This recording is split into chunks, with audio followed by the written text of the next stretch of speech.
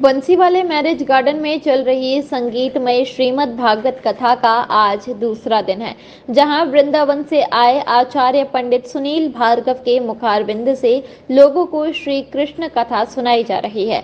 इस दौरान भारी संख्या में लोग आकर श्रीमद् भागवत कथा सुनकर आनंदित हो रहे हैं।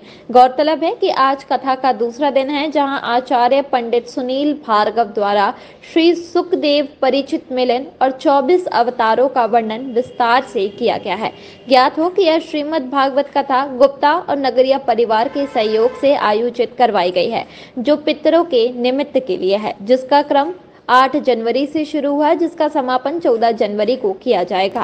उन्होंने भगवान शिव ने पुनः जय घोष किया बोलो सियापति रामचंद्र की जय जय सीता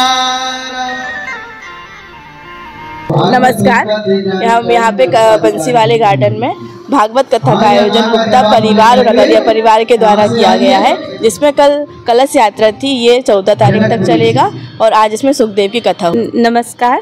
आ, ये कथा चल रही है भागवत कथा चल रही है। हमारे गुरुजी आए हुए हैं ये पंडित सुनील भार्गव जी हैं और ये आज सुखदेव जी का पाठ चल रहा है और ये इसका समापन चौदह तारीख को होने वाला है। वो हवन और भंडारा होगा और ये कल से कलश यात्रा कल कलश यात्रा यात्रा थी इसमें और सभी लोग आके इसका आनंद उठाएँ।